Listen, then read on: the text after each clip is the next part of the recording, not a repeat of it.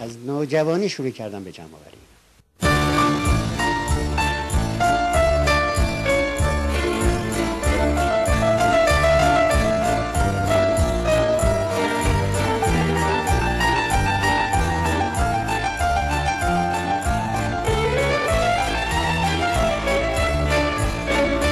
شبیه دکور یا نکارم می‌کنه. همش سالم اینا بلا استثنایی خراب مطلقا توش نداره.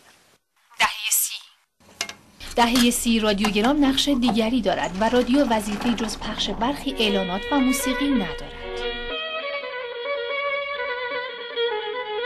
این هم رادیو هم گرامی. این دستشون می‌گرفتن هم برای حمل و نقل دامن طبیعت و مثلا سیزده به در رو. بله بله. مثلا وکیلاباد من یادم زیاد اینا میذاشتن اونجا جمع می‌شدن دورش.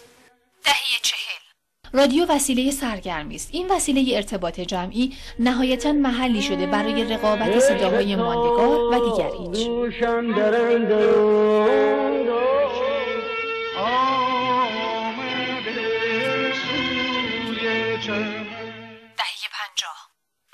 در دهه پنجاه خواست مردم از رادیو چیزی فراتر از موسیقی است.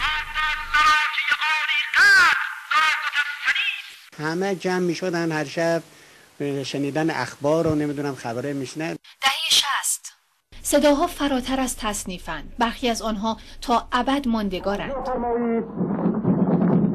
خونین شهر شهر خونی آزاد شد.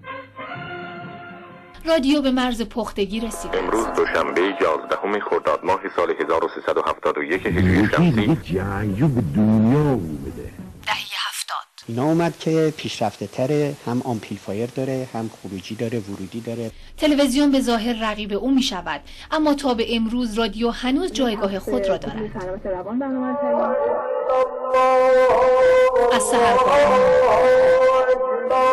صبح هفت و پنج دقیقه تا هشت و سی صبح با اعلام ساعت ده صبح از شما شنوندگان محترم دعوت می کنم به خبرهای این بخش توجه فرمایید. تا آرامش آرمی